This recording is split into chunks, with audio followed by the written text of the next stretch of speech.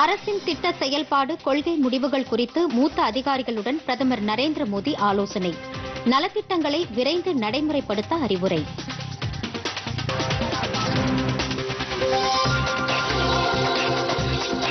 நாடாளுமன்ற முடக்கத்தை அமளியில் ஈடுபடும் உறுப்பினர்கள் தங்களுக்கான உரிமையாக கருதக்கூடாது. குடியரசு துணைத் தலைவர் வெங்கையா நாயுடு.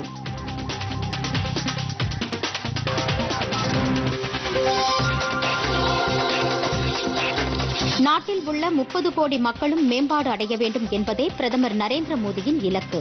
உள்துறை அமைச்சர் அமித்ஷா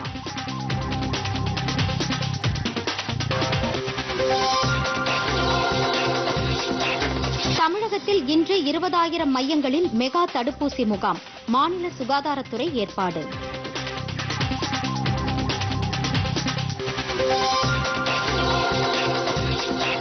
தமிழர்களின் வீர விளையாட்டான சிலம்பம் கேலோ இந்தியா திட்டத்தில் சேர்ப்பு. மத்திய அரசு அறிவிப்பு.